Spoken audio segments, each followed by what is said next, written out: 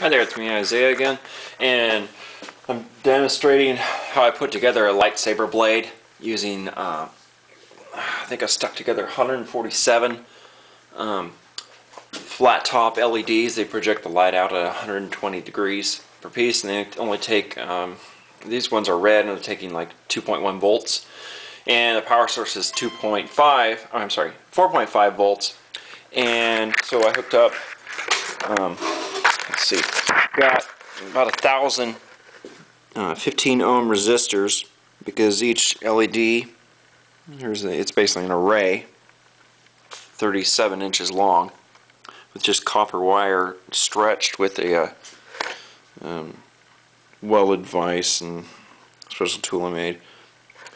Um, so anyway, uh, I just got together these uh, resistors, got a thousand of them, 15 ohm each, and cut out 150.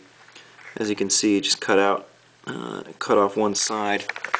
And the way I mount them is like this.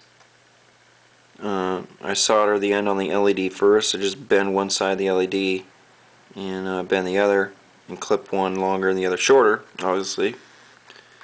And and so I just soldered the resistor to the LED first and then to the wire. Um, this tool really helps with stretching copper wire and getting it really tight. When it's just by itself, it sounds like a guitar.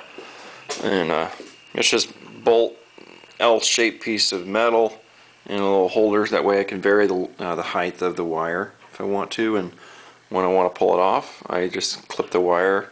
And when I want to do a new wire, I just tighten it.